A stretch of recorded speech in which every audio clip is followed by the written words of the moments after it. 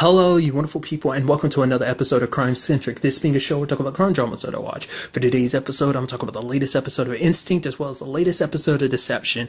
Like always, if I talk about something that you don't want to listen to, you can always look in the description down below. I include a time when I start talking about each of the respective shows. So, for example, if you want to hear what I had to say about this week's episode of Instinct, you can skip to what I had to say about this week's episode of Deception. But the first thing I want to talk about is this week's episode of Instinct.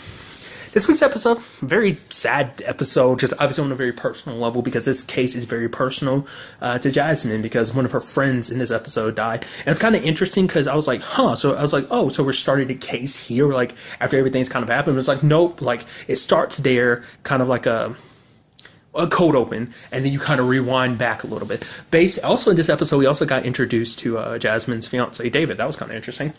Um, so it turns out that basically she has a friend Abby. Abby's like a CEO, and basically she owns like a basketball team, and basically she's moving them to another place. And uh, like I think it's wasn't it like where was she moving them to? I think Las Vegas. Yeah, and it was like obviously sports fans being who they are, a lot of people upset about it. Uh, but Abby kind of like ends up driving off the road, so it's like, is it a suicide? But it's like no, she left a nine one one message, and that was kind of like, oh, someone's trying to kill her and it seemed like she was on her way there during the whole drive. It seemed like she was driving erratic because she crashed into cars and stuff like that. So the episode was trying to figure out who was behind her. Like, yeah, obviously it seems like there might be some suspects here and there. Um, also, like, what is different about her? Because obviously her and um, Jasmine go back a very long ways. They've been friends since they were younger. Um, obviously, they kept they were super tight when they were younger, but obviously as they got older, things just came up. She was being super busy, kind of dealing with the stress of everything. So her and Jasmine weren't hanging out as much as they used to. So, and it's something that Dylan kind of immediately latched onto because he was noticing that there was like, especially when you look at some of the videos and stuff like that, like she seemed very different over the course of time. Like even like within the past three years, like you compare that to a year later to like something more recently, just like like even at the party at the beginning, Jasmine had noted the fact is that Abby was kind of like she had this episode where she kind of freaked out, kind of almost like an anxiety attack, and like she was telling people not to touch her, just like you know, just because it seemed like she was overwhelmed. The sad truth is, we end up finding out it's because her husband was abusing her. He was choking her, and that prolonged choking over years was starting to damage her brain, and it started coming out in those just kind of her because even one of the phone numbers that she called in the episode jasmine ended up pointing out that that was actually her old home number where her mom you know like would she get in contact with her mom but her mom died years ago. Obviously like in her mind in her state of mind she was she was trying to call something to something to hold on to you know that's what that was. Like she, you know, like I said, she wasn't thinking. She was kind of in a uh, panic mode, just because it turns out like her husband had threatened her at the party, like, "Oh, deal with this at home," and so she knew, like, "Oh my God, that's what the call was about. He's he's trying to kill me." Like she knew her husband was going to kill her. So and because you know it hits Jasmine hard because for her it's like I have no idea. I've been here complimenting like oh her she has such a great marriage. Uh, she has a perfect husband, and it's like he's been doing this to her, doing it in a way that it won't leave marks. The whole situation with um the um, maid, she had actually seen this and it was like, oh, there's the whole break-in situation, which the whole break-in situation, which just cover for what he had been doing to her, and the maid had seen that, but you know, she's the one that called the police, and they kind of had to spin it, be like, no, no, no, no, no, don't look into it, it's fine, you know, making it seem like some stuff was stolen here and there even going as far as trying to make it seem like, oh no no, uh, we we like he, her husband Russell was like, oh no no, the maid she's kind of undocumented, so I don't want her to get in any trouble. It's like trying to make it seem like he's so kind and caring, and he's just a garbage person behind all because he threatened to get her deported because she saw what he was doing. So that even running away like she did abby was it was just subconscious because she was like she needed to get away this was like her only chance like you know and even if this hadn't killed her, like during that accident, he like what he had done to her had done you know extensive damage, and that would have been enough to kill her anyway. You know, and it's just it's sad because it's so interesting because I wasn't expecting that to be, you know, how this whole because obviously everything in the episode is kind of leading well. This has to do with what she did, um, you know, because making decisions like that was because she wasn't really necessary. Well, because I think um, Dylan had talked about the fact is like moving the team was her subconscious way of being it kind of her subconscious being like, "Oh, get away!" Like it's just some way to get away from him. That's what the whole team thing was. It was kind of a manifestation of that subconscious desire to get away from her husband. But like I said, it's kind of interesting because obviously every entire episode's kind of dealing with like, no, no, no, no. It's all about um, you know, kind of like, oh, it must be one of the Rabbit fans or something like that. It's like, no, it was her husband. Because it's interesting because it kind of like on the same note. I mean, it's actually kind of a big theme this episode is relationships, and one side of that is uh, Dylan's relationship with um, Andy because Dylan's not much of a sport person, which apparently Andy is. He's like really into sports, in particular basketball, but it's something that they don't connect on. Obviously, for Dylan, it's also because like because of their schedules lately, they haven't been spending enough time together. But it's also because he's you know being who he is, trying to understand behavior. He thought help you know understanding why Andy's so fascinated with basketball, why he's so into sports would help him. But it almost seems like he almost like demeans like the sport, kind of making it almost seem barbaric and just like, oh, only people who are into it are, you know, who need to lash out some aggression or something like that. He undermines and um, belittles kind of like that pastime, which I, I mean, I get. Like, I mean, I also understand where Dylan's coming from. It's like, yeah, obviously you're gonna have that perspective because you're not very, you know, sports really isn't your thing. And but for him, it's like because for him, like he understands Andy. Him, they they they match on this intellectual level.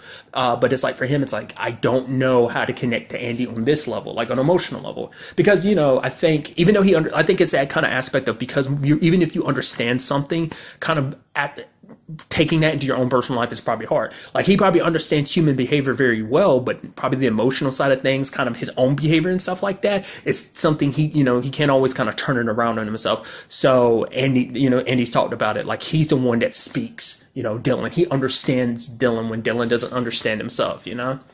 But it also comes down to the fact is Dylan was just jealous. It's like, you know, this is like you know sports was never a thing for him. He was always kind of picked last so you know sub- i guess subconsciously like it's always kind of been there so he kind of bashes on sports a little bit just to kind of compensate for the fact is that he was never picked for stuff if he was picked last. And there's this one thing right here that andy's so passionate about and that's like aspect of his life that he feels like he can't really tackle. I mean it seems like by the end of the episode it seems like he's slowly in that direction. Whether he's going to be a full-on fan like andy i mean i don't know because you could tell like he really wasn't into it. He's like, oh wow, oh, all right, right, right, yeah, the team scored, yeah. Uh, when is it over? I mean, actually, the game's still going on, so you know, so that was kind of an interesting perspective. Also, they did this aesthetic thing that I like in the episode.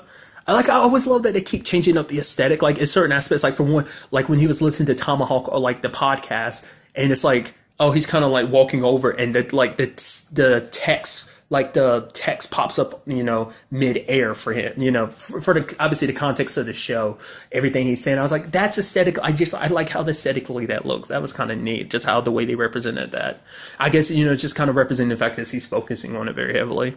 And all was obviously when like when he was figuring out everything that was happening in to Abby, it was like oh, like it was almost like like he was remembering like something he'd heard probably from a doctor. I mean, especially the way his memory works, it's most likely like a study that he uh, he heard one of his teachers or professors kind of talk about in the past, or maybe just some information he had come across at some point in time about kind of like you know choking and um, being deprived of air in that shape, you know. So that's just kind of another interesting twist to the episode that I kind of not twist, but just kind of a, an aesthetic aspect to the episode. Because usually it's him kind of like it was it was the usual thing of like him kind of like understanding, you know, picturing everything out.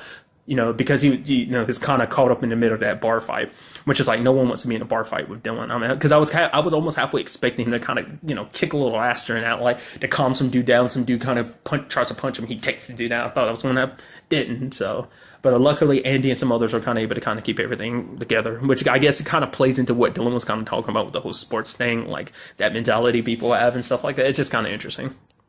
But the other side of things deals with Lizzie because there's that uh, mechanic dude, Steve, that Dylan was like, oh yeah, like, are you single? Because I have a friend. Like, he's really heavily pushing uh, Lizzie towards it. Which because for him, it's like the fact of the matter is, I'm not telling you like it's going to be easy to be completely over Charlie or anything like that. But it's like the fact of the matter is, she's like the fact is you're joking, like you know all these little aspects you know that he kind of notices about her. The fact of the matter is, he's kind of like you're engaged the way you're engaging in the conversation and stuff like that you're joking around like you're willing to give it a try and i think that's well worth kind of investigating you know? And obviously she makes excuses throughout the episode. You even had the other detectives kind of poking fun of her it's like yo you got a date. Good on you lizzie. Because they're like yo they know what she's been through and they just want to see her kind of happy. It's kind of like the whole aspect of like she didn't hang out with them as much anymore because of the whole charlie situation. So it's also i, I really liked because like we're seeing like different obviously like these are like different sides to the whole relationship relationship aspect of obviously Abby had her terrible situation with Russell, but obviously you have a good situation like Andy and Dylan, and you also have like this whole like, oh, Lizzie's trying to like figure this whole thing out because obviously her, the date with Steve, it seemed like it was going terrible because she was like showing him crime scene photos and stuff like that. She was so focused on work. I was like, oh man, I was like, oh that sucks. He's like, yeah, I feel like I'm second. I was like, because in my mind I was like, okay, because this probably is a little hard for her because it's like Charlie was a cop too, so they probably did a lot of that cop talk. So for her, it's like you know, like that's that was a part of her life that she shared with him. So it's like going to back and forth, like oh, I had this day at work. It's like oh, me too, you know. It's like experiences that they both could relate to. So I'm sure that probably played a role in just like that's probably why they kind of clicked too, is because he understood that side of her. But it turns out Steve was a cool dude. It's like, no, no, no, no, no. He was like, I felt, he felt bad because he felt like he was pulling her away from work. It's like, no, she needs to focus on work. I didn't appreciate the fact is that she was like asking Dylan at one point, so you got any other theories? And Dylan was like, yeah. He's like, wait a minute. You're using me, aren't you? The fact of the matter is you're making excuses so that I can keep going so you can just have excuses just to go stay here and work instead of, um, actually going on this day. Because even the captain knew. I mean, not cap. Yeah, captain. Um, even uh, Jasmine knew that she was. Wait, she's not a captain. Is she captain or lieutenant? I think she's lieutenant. It's the proper title. Nevertheless, Jasmine was like, "Wait, what did she? What happened on the date?" Even she knew about it, so it's kind of like spread around like that. I love it. Which I'm sure Lizzie didn't like the fact is kind of her love life situation kind of being on blast and everyone kind of, you know, be, it being a talk amongst their little group. But I thought that's kind of neat. So it's just kind of nice. Um, and also the fact is that um, the whole thing at the end where Lizzie's you know practicing with Sergeant Harris, and he's just and then like he's like, and then you have Dylan walking out. It's like, oh, I hope I'm not interrupting. It's like he's like, no, thank God you came because you know I need I need to you know I, I need to go. You know, he's just like. I need to go call a doctor or something because, like, it's like, yeah, Lizzie was going hard, dude. It's like, holy crap it's like it doesn't seem like Lizzie takes anything like slowly. It seems like she kind of goes in 100%, maybe even 110. So but it seems like she's kind of taking those steps herself because Dylan's like, I, and I thought it was kind of a nice friend thing too. He was like, the fact of the matter is, you think I wouldn't like? I looked at him up and down, like I knew, like he's like, I under, I analyzed his behavior before I even suggested he, you go on a date with him. It's like it's almost like, yo, I got your back. Like if I'm suggesting you go out with some dude, obviously I'm going to check him out to make sure, okay, there's this, this, this, and this, some behavior issues. Like you know, try and suss him out, you know, a little bit based on who Dylan is and the way his mind works, and just about behavior analysis. And I thought that was kind of a neat thing. But Lizzie had already taken the steps herself, apologizing everything, and so they're going on another date. So it's really nice that she has taken those steps forward. So I thought that's kind of a neat little um, step in direction for her. What's also interesting too, the um, the dude in this episode, Yuri, the one that was kind of like um, Russell's fixer, he was the one taking pictures, following um, Abby uh, he ends up talking about he wants a favor from Lizzie in the future. I was like, huh, that's kind of interesting. Like, it's like, I do this for you, helping you track down the maid. It's like, uh, maid Sophia. It's like, then you can help me. Was it housekeeper or maid? I don't know if that is a big difference or not. I guess in my mind I treat those as the same thing, but I think housekeeper was probably like the term they use, but I think maid is. Just, uh, I don't know. Um, but it's like he was like, "Oh yeah, you owe me a favor. Like I could hope that could come to you for a favor in the future." I'm gonna like, "That's interesting. That's almost like okay, that seems like such a little thing, but it also seems like that might turn into something much bigger later on. It almost seemed a little ominous too, so that could be foreshadowing a lot. So I'm very interested where that goes down. But overall, a very nice episode. I like, like I said, I mean, very sad about what the story was, but at the same time, I do like that it did kind of build on these other stories, like uh, these other relationships kind of developing in the show. So I thought that was kind of a nice back, back and forth angle to the show, kind of like the bad side of the relationship type of things, and then like kind of the more uh, challenging and trying to figure stuff out type of angle when it comes to relationships and stuff like that. So I thought that was kind of neat. So very interested to see what goes down in the next episode. And now moving on to this week's episode of Deception. This is kind of like a very uh, redemption heavy episode, kind of all across the board. Um, obviously, you know, uh, the main uh, cop in this episode, uh, Maslin, he's kind of searching for kind of redemption, as well as Jordan and Cameron. Jordan, not as much. I mean, he gets it a little bit from Dina and Gunter about the whole, like, him being the only one who knew about the whole situation with Cameron. You were in contact with him. You even kind of helped with this whole situation a little bit, but you didn't tell us. And so they're kind of pissed at him. But even then, it's not as bad as everyone else. Because everyone, you know, Mas- Maslin's situation is kind of more like his entire career is at stake. And Cam, like, uh, team, this friendship he's built, you know, between the deception team and the FBI. That's kind of all in jeopardy, essentially. Um, main overall plot deals with a cop who witnessed a crime, but when he wakes up, it's like, whoa, whoa, whoa, whoa, nothing. Whoa, oh, so this was okay. So this really didn't happen. Did they ever? They never really went over it, but that clerk at the beginning, like, like he was like, did he ever pop up again? Was it ever brought up like how that clerk fit in on it? I guess he was just some dude that was hired to do it. I don't remember ever explaining that whole situation. Maybe they did, and I just like completely blinked over it for whatever. But I don't remember that clerk ever coming back up in the episode. That was that was kind of an interesting thing. But basically, Maslin talked about the fact that he witnessed a crime, but there was no evidence of it, so it looked like he was just kind of crazy. And Maslin kind of has a past of drinking and stuff like that. He got cleaned up, but it was still kind of like a, oh, everyone just thought he was crazy. But Cam looked at the case, and obviously he was like, okay, certain things didn't kind of line up. Obviously, when the clerk ended up running away and throwing some of the evidence in the back of a dumpster truck, you know, obviously that was a clear mode uh, thing too as well. It's kind of sad too because at first Maslin was like, "Oh, for it," because obviously Cam was pretending like he was full on FBI, but it's like, "Oh, you're actually just a magician. Do you even work with the FBI?" It's like, "Yeah, I mean, sort of, yeah. I mean, especially under the circumstances they are right now." So, but basically, it turns out that there was corruption in uh, the police station that he worked in. Uh, there was that cop Leo Baker. Interesting to me, I just find so fascinating. He was he's also um, one of the cops in the show Instinct, like I don't know. I just think that's kind of interesting that he's in this and there's another. It's just interesting how that kind of just plays out like that. But um, essentially they were dirty cops essentially and Maz Maslin kind of got brought up in like because for him he says the reason why he was investigating stuff like I didn't do nothing bad then I didn't do nothing bad now it's just because people see my you know it's like oh it's that dual side it's like when you're outside of this room the interrogation room everyone sees you one way but inside it's like oh you're almost like looked at as you're just automatically guilty. So it's like, even if you did nothing wrong, because for him, it's like, I, am a good cop. I, I sobered up. Yeah, I used to drink, but I sobered up and I've done a good job. And I'm just kind of, you know, no one wants to believe me. No one's trying to see the truth of it. So so, because for Cam, this is also, for him, it's like, well, Maslin is also being framed, but this is also kind of similar, like I said, the similar thing of Cam's trying to make up everything with the FBI. Because it seems like Deakins is the one that was kind of holding out against him, but it turns out it's not. It seems like, especially because she ended up calling him Cam this episode, and Cam was like, you heard that? She just called me Cam. It's like, I- have heard Cameron's, but Cam? It's like, I'm like, oh my god, like, Deakins is sh- like slowly but surely warming up to. I should have figured as much when she was telling Cam, like, him and Jordan to follow uh, that uh, drug dealer Alex uh, they're like, we're, we're not, we're not following. It's like, yes, you are. Keep following. And, he's like, okay. Oh, she, she hung up on him. Also, pretty slick of Jordan do what he did, like, uh, slipping those drugs off the dude, uh, with the, you know, with a fake hand and then just sliding his real hand through the jacket. I was like, that's pretty sneaky. I was like, that's so int- that's so cool. Uh, I just love the little things that they do like that. But it seems like the one who had the biggest problem with him was Kay.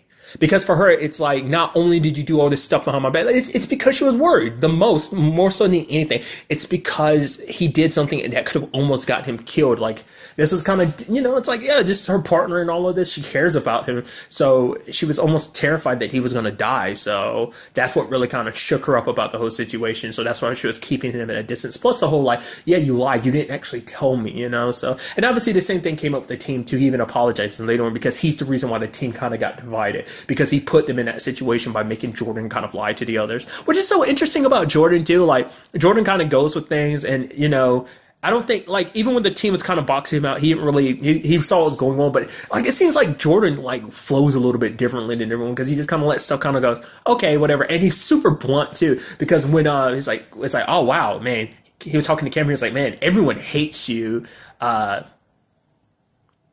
Kay Deakins no, it's like Dina, Gunter, Kay, this dude, man. It's like everyone's pissed at you. And it's like, that's such a, like I said, like he didn't have to say that in a lot of times. Like I said, he doesn't really think a lot of times when he just says something, he just kind of says it. It's just kind of like, it seems like tact isn't one of his things. At least that's how I feel. So it's just kind of interesting how that works out. But I did like what they did with the whole deception of the um, like the whole put on a performance, getting him arrested and everything because he was trying to break into Baker's car, and then Kay came in there kind of grilling him. They're like, "Oh, we can't help you now," and he's like, "Wow, Oscar performance!" Like if you if you can, this whole FBI thing, you you don't always like be like an illusion, like you know, a magician afterwards because you're you're good at just deceiving people. That's so good. But also like because I love what they do too is because they not only fool the people like they're fooling, but also even the audience because it's like oh Dina's giving him these directions, and I guess maybe he legitimately was confused, but maybe that's kind of to fit it more because I mean I guess maybe he really did get lost, but it almost seemed like every room was purposeful. Like each misdirection almost made it like, oh, seem like he was trying to go. I mean, it's also interesting too that no one on that side of the building was there. I thought that was kind of interesting. I don't know. You didn't see any cops running around neither, so I thought that was kind of interesting. Maybe that was kind of supposed to be a key sign too. I was like, maybe something's up here because it's like, huh, that's, I just thought that was kind of interesting. And Baker ended. I was wondering how they were going to play that whole thing out. I wasn't expect like I figured like it'd be like, oh, they did something to the glass and now he's confessing in front of everyone. Sure, I wasn't expecting it's like, oh yeah, the moment he flipped on the light, he actually uh, clicked on a projector that showed um, a different room. I was like, that's so genius. That was not. I didn't know what to expect. I sure as hell wasn't expecting that. So that was kind of good deception, you know. So everything kind of worked out in the end. Maslin, you know, becomes a detective, so everything's good. You know, he's kind of got his reputation back. Cam make good with the FBI. Like I said, it seems like the only one who really had the biggest problem with him was Kay. Um, and everything seems good with the uh, team deception. So, other things that we kind of have to break down about the episode too is what Gunter came across was very fascinating. Basically, he came across Aleister Black's um, kind of secret room because it seems like Aleister, the the thought process is that all those you know rich people that he was surrounding himself with, he was building stuff for them. But whatever it is that he built for them, he's kind of booby trapped the whole place down there upon Gunter finding it. Which I obviously it's kind, it's kind of interesting too because like even though Gunter was like I'm gonna do all this by myself, by the like when he was kind of like oh wait hold on help I need help with something, it's like he was calling for Jordan. I was I just think that's fascinating. Um, because I, you know, Jordan's kind of like, I mean, and it's something. What's her name?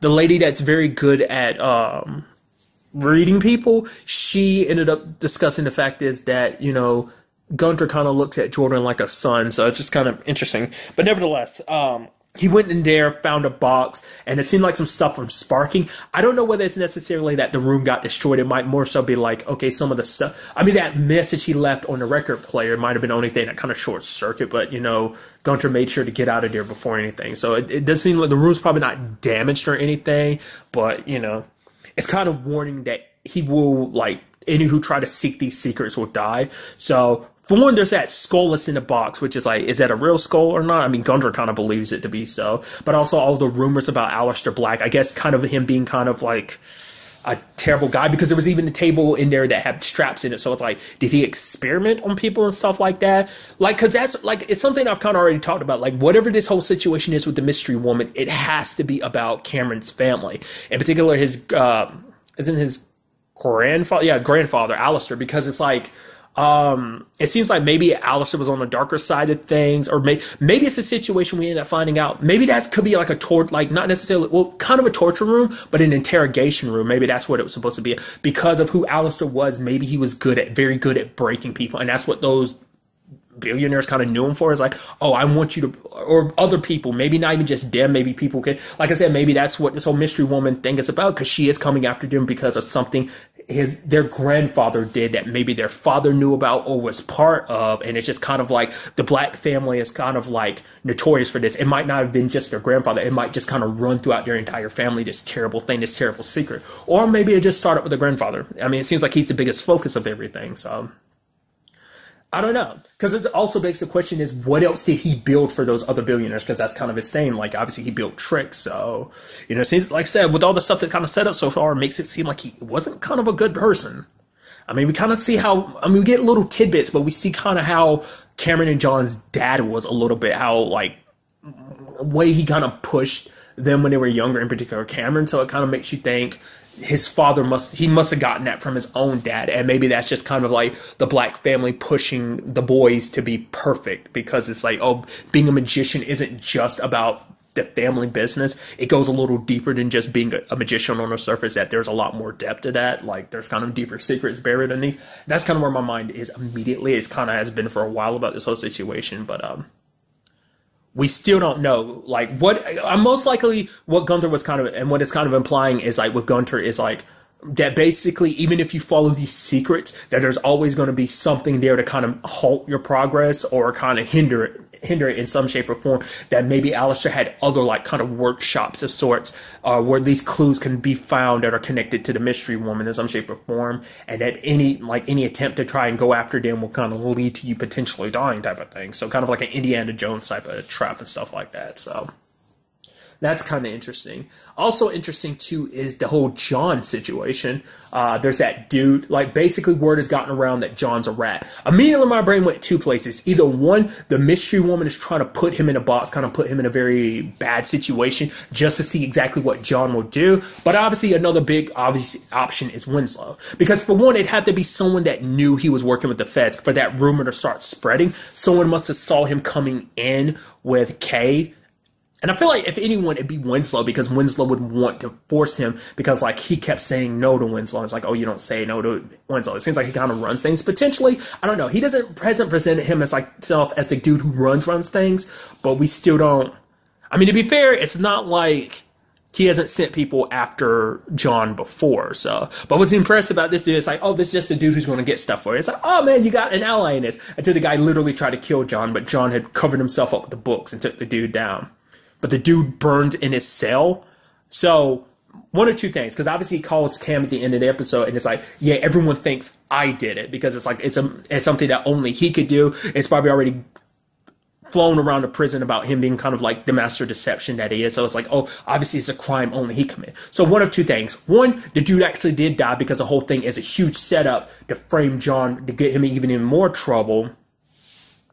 There's that. Or two, the dude isn't really dead I mean, because going back to the first one, it could also be, you know, tying up a loose end while also framing him. Two, it could also just be like the dude didn't actually die, that basically the whole crime scene was fake, that he's actually still alive. Because he was seen there flicking his lighter and stuff like that. He was talking about John was going to get it. So I'm like, part of me thinks that he might have been part of this and he might have faked his death, but he might really be dead because he probably thought they had other plans, but he ends up being the sacrificial lamb in this situation. So I don't know that's immediately where my brain went on it. So we we kind of have to wait and see in the next episode because it seems like that's what next week's episode is going to be about, which is interesting because they're already trying to uh, clear John's name from one murder outside of prison. Now they got to clear his name for murder in prison, which is going to be very interesting. And we'll probably end up finding out about the whole Winslow situation too, or you know like they'll solve it, but then John will be the one that only one that knows it has something to do with Winslow, and he kind of keeps that to himself. So, which is interesting because like obviously it's probably gonna be because it seems who John is. It seems like you know obviously Teen Deception was like yeah no more secrets, which led to uh, Dina being like yeah me and Mike are officially dating, and then Jordan being like yeah I have like a crap I have like a thousand dollars worth of drugs on me. It's like oh so when you stole those drugs from that dude you never did anything with you just kept them. Interesting. Why you did that? I don't know. So it's just kind of, it's just, I don't know. We'll have to wait and see what goes down in the next episode to kind of really get a better, obviously, understanding of that situation. Like, cause I'm very curious to see who ultimately ends up being my money. I'm kind of leaning more towards Winslow, but obviously, like, the whole setup situation makes me think it's got to be the mystery woman. I feel like, I don't know why do things this way? I mean, not like, like I said, not unless it's to force his hand to kind of get her a better audience. I mean, would she even be able to kind of really get to him, kind of even have an audience with? I mean, you know, I guess given enough time, she'd be able to. So that's why my mind kind of leans more towards Winslow, but I don't, I don't completely remove the mystery one because, like I said, it feels more like her tactics. But hey, you know, who we don't really know much about Winslow, so I mean, he could have set this whole like, you know, he might be actually a lot smarter than we kind of give him credit for. That you know has the right kind of connections and stuff like that. Because we also don't know what it is exactly that John got from the dude that got stuff for him. We still don't know what it was exactly and what that was all for. Maybe that stuff is probably going to be used as evidence to be like, oh yeah, obviously John has something to do with this. Like obviously John had already beaten up the dude earlier today after the dude tried to kill him. So there's that whole thing. So what was also interesting too in this episode, um, Dina got uh, introduced to Mike's uh, kids, uh, Jamie and Diego. So that was kind of interesting because the way Mike said something early in the episode made me think that wasn't going to happen. Where he was kind of like, "Oh yeah, that'd be nice," almost like he was hesitant in the sense of like I thought it was like, "Oh, are things with your kids not good?" In the sense of like, "Oh, is it like a custody battle type of situation?" I mean, we don't really know what his whole family life situation is. Like, is it like a custody thing or is him and his ex cool? They have like um God, what's the word for it? Like equal rights to the situation. Like, oh, he has them sometimes, she has them sometimes, type of thing. Like, I thought maybe that's kind of what he was kind of implying, but maybe that's not the case. I don't know. Overall, a very good episode, and I'm very interested to see what goes down in the next episode with all of this. But really, that's all I want to talk about. To the next time we meet, be happy, be safe, live life to the fullest, and enjoy it. Good day and goodbye.